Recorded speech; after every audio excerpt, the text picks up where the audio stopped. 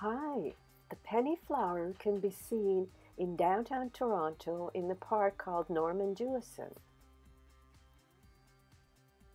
This year I chose to camouflage our pennies because they're always gone and I have to update and repurpose and replace each of our pennies because people are collecting them.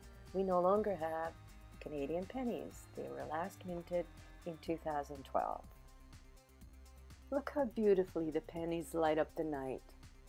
Rain or shine, come on out, touch the pennies, and make a wish.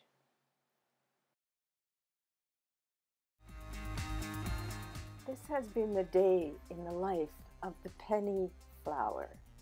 And you know what? I still say, a penny for your thoughts. Bye bye.